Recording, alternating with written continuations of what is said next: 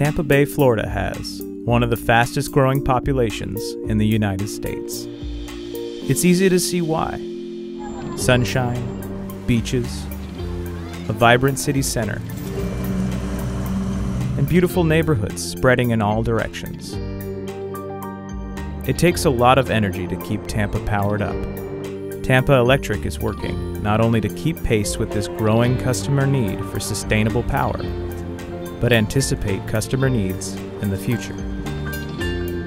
Our vision at TECO for the Polk Power Station expansion was to create a modern, uh, efficient combined cycle facility out of existing simple cycle assets we had here, providing benefits to our customers, our shareholders, and the environment in the process. They're burning the same amount of natural gas, but they're generating more power. This is harnessing all the waste heat in an effective, efficient manner, reducing emissions all at the same time. So it's a win-win to everybody.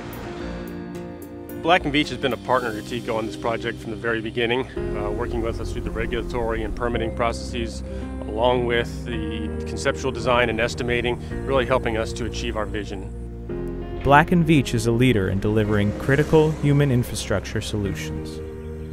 We are building a world of difference.